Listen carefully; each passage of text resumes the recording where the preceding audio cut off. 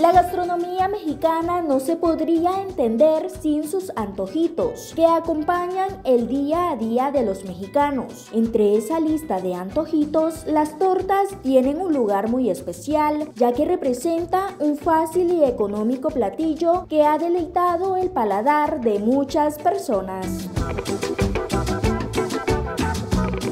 La torta es un plato callejero polifacético y sus variaciones no tienen límite. Sin embargo, hay combinaciones que llegaron para quedarse, como la torta cubana, de pierna, de milanesa, de jamón y queso, de chorizo con queso o la torta ahogada.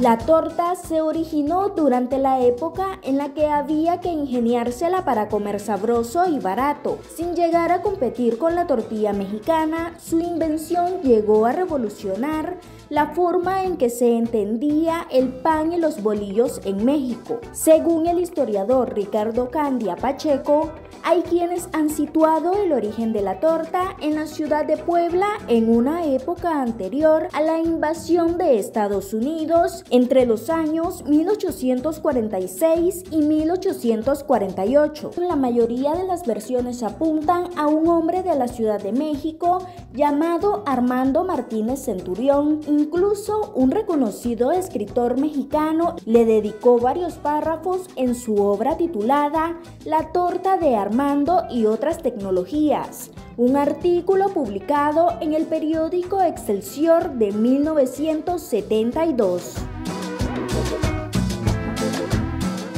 Don Armando era un hombre humilde que en 1892 colocó un puesto en su zaguán para vender bolillos rellenos de los que tenía a la mano. Después introduciría otros ingredientes como el jamón de pierna, el queso de puerco y las sardinas. El puesto de Don Armando se encontraba en la calle Coliseo Viejo, actualmente calle 16 de septiembre. Se dice que entre sus clientes se encontraban Agustín Lara, Cantinflas, Francisco I, entre otras personalidades que no se resistieron al sabor de dicho manjar.